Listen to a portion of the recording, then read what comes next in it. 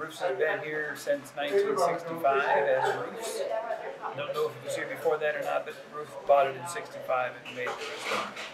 And uh, it's the, uh, it's been told, I've been told it's the Center for Conservative Politics in Columbia County. Right where you're standing, there used to be a big round table, that, that one in fact.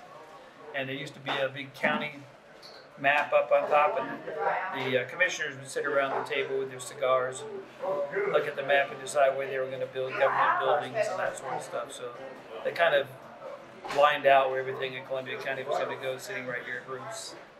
It's a breakfast and Southern comfort food restaurant. We serve about 60% breakfast, um, and we have uh, omelets and pancakes, eggs, and hash browns, basically for breakfast.